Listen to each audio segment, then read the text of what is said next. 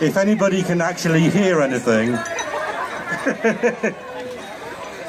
what we've got here is three bands, but one of these bands is in a based now based in Aldershot.